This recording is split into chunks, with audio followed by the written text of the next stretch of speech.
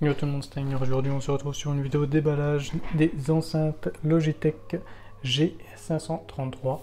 Donc, euh, son 2.1, donc euh, deux enceintes, un caisson de basse de 120 watts. C'est suffisant pour moi, c'est ce que j'avais avant.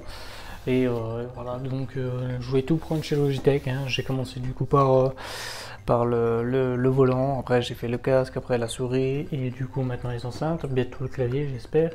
Donc voilà, des petites, euh, informations. Puissance RMS 60 watts, caisson basse 30 watts, satellite, donc du coup deux enceintes 15, 2 x 15, donc 30 watts au total.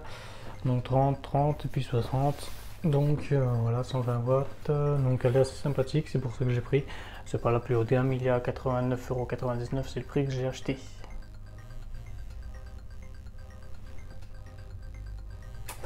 Donc euh, pour moi, il vaut, ça vaut- c'est suffisant, j'ai pas besoin de plus. Euh, J'avais déjà une enceinte de 120 watts de chez Trust, je sais plus la référence exacte, et ça faisait, euh, ça faisait très bien son taf, donc pourquoi prendre plus qu'en qu'en 120 suffisant. Donc, donc voilà, je pas besoin de plus parce qu'après la version au-dessus elle est du coup à 400 watts et puis 200 euros pratiquement, donc pour moi c'était beaucoup trop cher et je n'avais pas l'utilité. Donc le petit caisson basse ici, c'est un peu compliqué de tout bien je vais remonter, voilà. Donc le caisson de basse qui se trouve ici. Alors, je vais essayer, j'ai bien envie d'essayer de pas tout casser, mais déjà ça, comment ça s'enlève tout ça? D'accord, comme ça, je vais le laisser pendouiller là. Ah, peut-être une technique, je ne sais pas. Bah, je vais le coucher, ce sera peut-être plus simple. Compliqué, j'ai pas envie en plus de ça de faire des marques.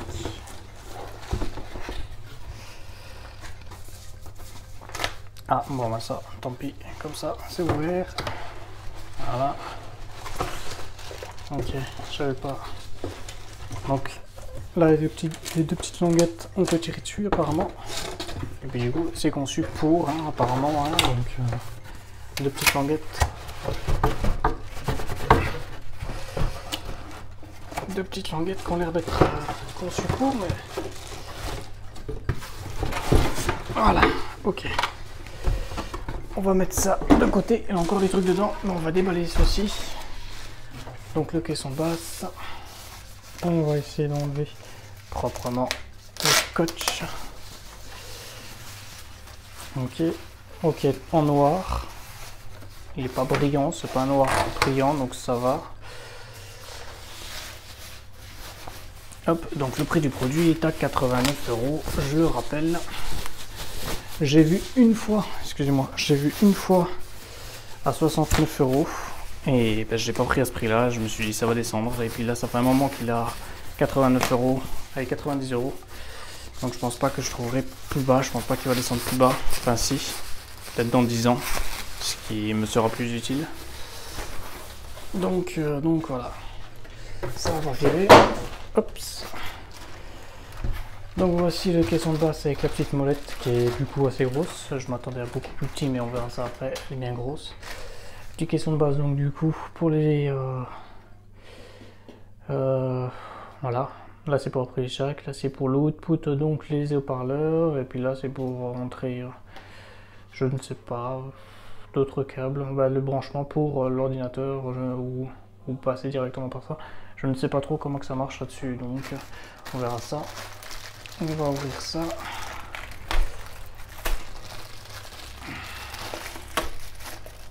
Hop.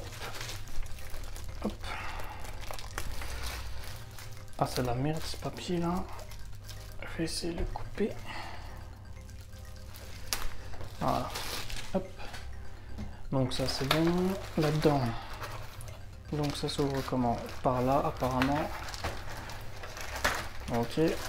Donc le câble qui a l'air d'être quand même assez grand. Malheureusement c'est pas du universel. Enfin, euh, On peut pas les enlever. Ça c'est un petit peu dommage. Pareil, ils ont refoutu leur scotch là autour. On va le mettre juste insertable. Hop.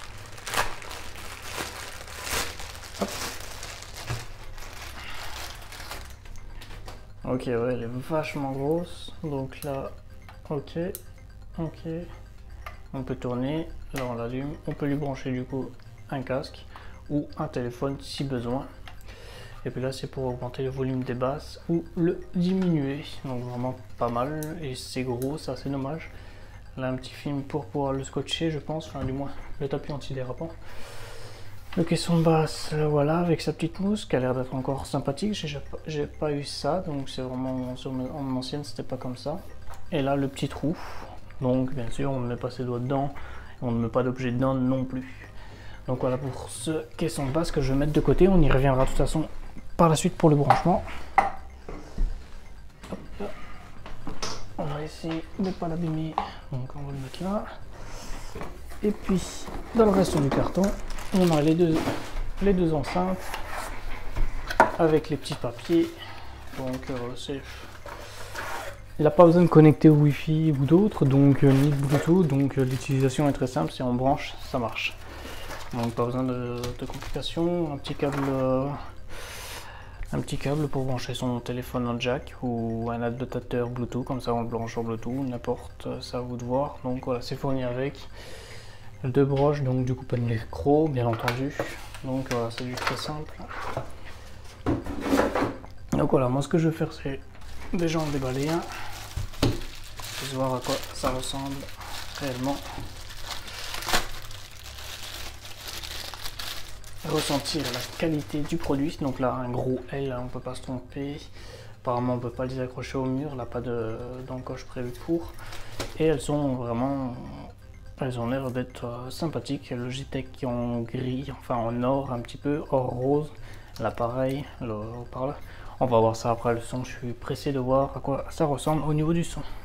Donc voilà, je vais les brancher. On se retrouve tout de suite une fois que ce sera fait. Donc voilà, branchement fait. J'ai pu faire un petit peu des tests sur des Dabas en tout cas.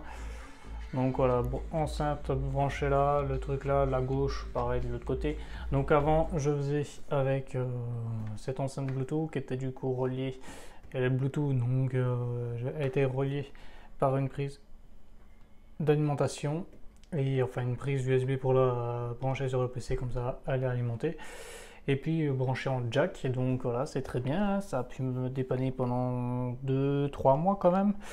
Euh, mais le son est vraiment pas terrible. Déjà à fond on n'a pas l'impression d'être à fond. Ensuite de ça les basses sont pas si bonnes. Donc on peut pas regarder de film ou autre avec. Donc voilà c'est bien. C'est bien pour dépanner. Et heureusement que je l'avais d'ailleurs pour me dépanner. Mais en tout cas ça c'est fini. Maintenant les enceintes. Donc je vais juste passer là dessus pour enlever ce film de protection ici. J'ai déjà fait sur l'autre. Voilà pour avoir un petit peu de ASMR pour ceux qui aiment ça. Donc en tout cas le orange Or, il est pas mal. Donc euh, là, il est du coup allumé.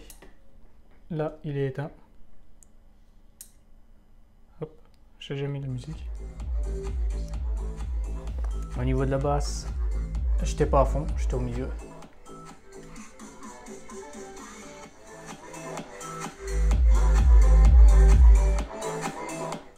Sais pas si vous avez entendu, mais on entend quand même une différence quand elle est basse ou pas. Même activé au minimum, les, petites enceintes font quand même de la basse. Donc ça c'est vraiment pas mal. La petite LED blanche pour dire qu'elle est allumée ou éteint. Donc vraiment pas mal. Donc euh, je pense que je pourrai m'amuser et écouter de la bonne musique, regarder des bons films qui bougent avec ces enceintes. Un seul truc que j'ai pu, que j'ai pu remarquer avec ces enceintes, c'est que les aigus, je sais pas, hein, c'est peut-être positif ou négatif, je ne sais pas, mais j'ai l'impression que les aigus sont énormément là. Donc après, peut-être parce que c'est normal, c'est peut-être le but des aigus qui soient énormément là. Je ne sais pas, mais on entend que c'est vraiment très très aigu. Enfin, le son est clair, il est aigu. Enfin, voilà, le son, on va dire, il est bon. Je suis pas un audiophile, ça change par rapport au Trust et puis à l'ancien Bluetooth. C'est peut-être pour ça que je n'ai pas l'habitude. Mais le son est très bon. Euh, là, pas de grésillement. Euh, j'ai vu sur certains commentaires que quand, quand on n'avait pas de, musique ou des trucs comme ça, que ça s'était allumé, qu'on entendait un petit grésillement. Moi, j'entends pas. Peut-être on l'entend l'ordinateur éteint et ça, c'est possible. Il me semble que je l'avais aussi sur mon Trust, donc c'est parce qu'il a alimenté. Donc voilà, je testerai. Vous pourrez me poser la question en commentaire si jamais vous voulez la, réponse. De, de, la réponse à la question euh, si mon ordinateur est éteint, est-ce que les enceintes étant allumées comme ça, ça fait du bruit ou pas? Je pourrais vous y répondre. Euh, de toute façon, ça va être testé euh, dès la fin de cette vidéo, de toute façon. Donc euh, voilà. c'est la fin du coup de cette vidéo. Je vais tester du coup sur des, sons un peu plus un peu plus neutres, du rap, du rock. Là, j'ai testé les basses qui sont vraiment pas mal du tout. Franchement, là, c'est autre chose, c'est un autre niveau par rapport à Trust. là, là c'est niveau haut de gamme, enfin haut de gamme entre Trust et puis le Trust que j'avais et cette Logitech là. Euh, donc voilà, vous aurez bien sûr un lien dans la description, donc n'hésitez pas à l'acheter si le produit vous intéresse. Si vous avez des questions avant d'acheter, n'hésitez pas à me les poser, j'y répondrai. Je peux même faire un... Vous venez sur mon Discord, on fait un partage vidéo, je vous montre ça, je vous montre, je vous fais écouter quelques petits extraits, enfin voilà, des petits trucs comme ça pour vous montrer la qualité du, du son. Donc voilà, je vous dis ciao ciao et à plus pour la prochaine vidéo.